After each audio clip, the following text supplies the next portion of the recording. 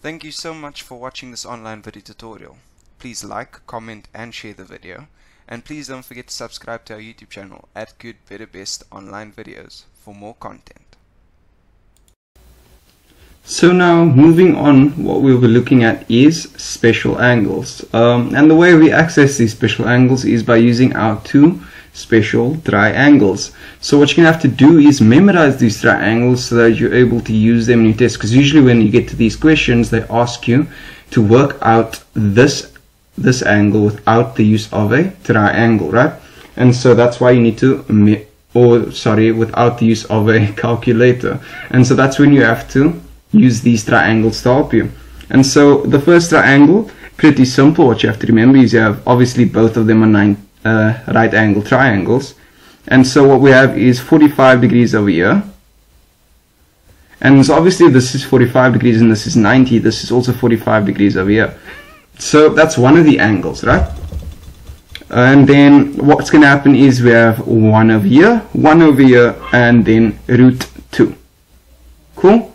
Then if you look at the other triangle on this side, it's going to be an angle here of 60 degrees, right? And obviously if this is 90 degrees over here, then this is going to be 30 degrees up here. And then we also have a 1 over here. Over this side we have a root 3. And over here we have a 2. So really just take a minute to look at this, try and memorize it. But for these examples we will be looking at these triangles to help us, okay? And so just to show you guys how we go about using these triangles, I'll do some examples for you just on the right hand side before we look at some uh, more advanced examples you could say. So let's say they asked us to find tan 45 degrees without the use of a calculator because that'd be pretty easy to find in your calculator right? So let's have a look at how we can use this on our calculator um, without the calculator. So we can see they give us 45 degrees and if you notice we've got three different types of angles we're dealing with. We're dealing with 30 degrees, 45 degrees and 60 degrees. So when they say tan or when they just say the 45 degrees you know you're going to deal with the triangle on the left hand side right? And so you could use any one of these angles and your answer would still come out to the same thing. So let's say I'm going to use the bottom one over here. So this bottom 45 degrees over here and it says tan 45 degrees right? So what I have to do is think about the tan ratio. The tan ratio uh, if we look at it again saw toa we know that with tan we use the opposite and adjacent side right? And so if I look at what is the what is opposite this angle and adjacent to it opposite is 1 and adjacent to it is 1 okay and so like that, that's how we get our answer because we know tan 45, so this should be opposite over adjacent. And so the 45 degree just tells us which angle we're supposed to be using. And so it's the 1 over the 1 that we said, okay? Because that's opposite and that's adjacent. So the next example is cos 60 degrees, right? And so now we have to look at the 60 degree angle in this triangle. Cool. So you can see now we know we're using the right hand side because of the 60 degrees. So if we look at cos, we know cos uses adjacent and hypotenuse. So in this case, the adjacent angle is 1. Um, the adjacent side is equal to 1 and the hypotenuse is equal to 2. So we know it's adjacent over hypotenuse. So that is 1 over 2 as the answer for cos 60 degrees. So you can see all it really is is using that angle to say, okay, we're using this angle um, or this triangle, and then relative to that angle, using the ratio, I have to decide, okay, that is the two sides that I'm using, and this is how I put them together. Cool? And so for the last example here, we have sine 30 degrees. So remember, sine is opposite over hypotenuse. So if we go to the 30 degree angle, which is obviously in the triangle on the right hand side, opposite is 1 and the hypotenuse is 2 cool? And so then this is obviously going to be equal to 1 over 2 so as you can see we use a 30 degree angle. We looked at the opposite side which was equal to 1 and the adjacent side which is equal to 2 it's pretty simple once you get to understanding it right So let's look at some more advanced examples quickly. So we already know that cos 60 using special triangles equals a half. So let's say in this case, so that let's say that's number one. Let's say number two, they ask us to find 4 cos 60 degrees. So how do we translate that? Well, that 4 in front basically just applies to timesing. So what happens is we say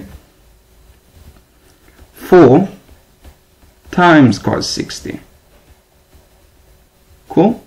And so what we need to do is find the answer for cos 60, which we obviously know is a half. And so basically it's 4 times a half, which equals 2. Cool? Makes sense? But what happens if they ask us to find cos squared 60 degrees? And so basically all we have to do with that is it's going to be cos 60 degrees in brackets and that's squared. So the answer for cos 60 degrees and then we square it. So we know that the answer is a half. And so what we have to do is square that answer and we get 1 over 4 as our final answer there. And then just to look at one more example over here, or let's look at two more. So for example number 4, we have tan 45 degrees with that dot over there, remember that's going to mean times, times cot 45 degrees. Cool? So what happens is we have to find out what tan 45 is equal to and then what is cot 45 equal to, times them together and then get an answer. So we know that tan 45 from up here was 1 over 1, so we know that's going to be equal to 1. And cot 45 is basically 1 over tan 45. Cool? So that's basically just the inverse of 1 over 1. And so that's obviously going to still give us 1. And then our final answer is going to equal to 1. Then to look at one more example, we have sine squared 60 degrees plus cos squared 60 degrees all over tan squared 45 degrees. So let's just use a different color here so we don't get confused when we go to our triangles over here. So we're going to find out obviously, firstly let's just change this over here. It's going to be sine, remember what I said what happens when it when there is a square. So it's sine 60 going to be squared once we find that answer plus cos 60 I'm going to run out of space here. Let's just actually do it down here. So sine 60 squared plus cos 60 degrees squared over tan 45 squared degrees squared sorry okay so let's go ahead and find out what these different things equal so Obviously tan 45 we know is going to equal to 1, so what happens is we don't even have to take that into account anymore. Tan 45 we know equals to 1. So that's going to fall away right it's at the bottom of the fraction. Now looking at sine 60 though, let's look at sine 60. So 60 degrees, we come to the right hand side triangle, we're using the 60 degrees over here. Sine is opposite over hypotenuse, okay? So opposite angle over here, or opposite side over here is root 3. So that's root 3 over, so it's opposite over hypotenuse. Hypotenuse is 2. And that's going to be squared, right? And that's going to be added to what is cos 60. So cos, so we still come to this triangle and 60. And then we look at uh, cos obviously is adjacent and hypotenuse. So adjacent, which is 1 and hypotenuse which is 2 so that's 1 over 2 squared. If we times those out so obviously root 3 squared is going to give me 3 alone.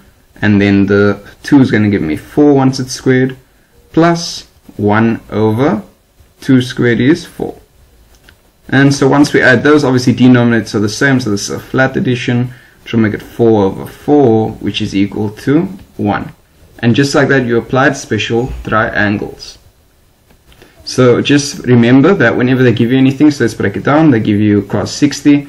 Okay, 60 degrees is going to tell me which triangle I'm using. I'm going to be using the one on the right hand side and I'm referring to the 60 degree angle. And so they give me cos to use, right? And I know that's adjacent over hypotenuse. So I have to look for the adjacent side, which is the 1, over the hypotenuse, which is 2. Remember, your special triangles will never change. So you just have to memorize these and then you can always refer back to them when you're dealing with angles of 30 degrees, 45 degrees, and 60 degrees. Hopefully you guys understand special triangles now.